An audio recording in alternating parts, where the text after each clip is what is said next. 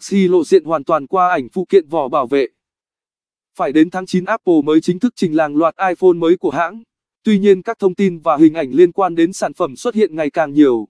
Thậm chí các hãng sản xuất phụ kiện đã sẵn sàng cho chiếc smartphone này bằng cách giới thiệu lớp vỏ bảo vệ dành riêng cho sản phẩm. Cụ thể, hãng sản xuất phụ kiện cho smartphone Olisa, Anh, đã giới thiệu lớp vỏ bảo vệ dành cho iPhone XE. Kèm theo đó hàng loạt hình ảnh hoàn chỉnh của chiếc smartphone này cũng đã được Olisa chia sẻ. Dựa vào những hình ảnh của Olisa cho thấy iPhone XE sở hữu thiết kế mới, với cụm 3 camera nổi bật ở mặt sau của sản phẩm, thay vì được bố trí theo chiều dọc hoặc theo chiều ngang. Cụm 3 camera này kết hợp với đèn flash sẽ được bố trí trên một mặt nổi hình vuông nằm lệch ở mặt sau IPHONE XE. Trong khi đó, mặt trước của sản phẩm hầu như không có sự thay đổi so với phiên bản iPhone khi vẫn sở hữu kiểu thiết kế màn hình tai thỏ.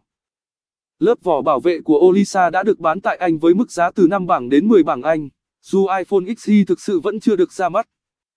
Trước đó, Olisa cũng thường cho ra mắt lớp vỏ bảo vệ cho các mẫu smartphone cao cấp ngay cả khi sản phẩm chưa được trình làng và các hình ảnh do Olisa công bố thường chính xác so với sản phẩm thực tế khi được ra mắt. Điều này cho thấy nhiều khả năng hình ảnh iPhone XE mà Olisa đăng tải cũng sẽ là thiết kế cuối cùng của chiếc smartphone đang rất được trông đợi này. Dẫu sao, mọi thông tin vẫn chỉ dừng lại ở mức tin đồn và thông tin do gì. Apple vẫn chưa có bất kỳ thông tin chính thức nào về chiếc smartphone thế hệ mới của mình. Theo nhiều nguồn tin, Apple sẽ tổ chức sự kiện đặc biệt để ra mắt đến 3 phiên bản iPhone khác nhau, iPhone XE, XE Max và XR 2019, vào tháng 9 tới đây. Khi đó, sự thật về chiếc smartphone cao cấp này mới chính thức được hé lộ. Tê Thủy.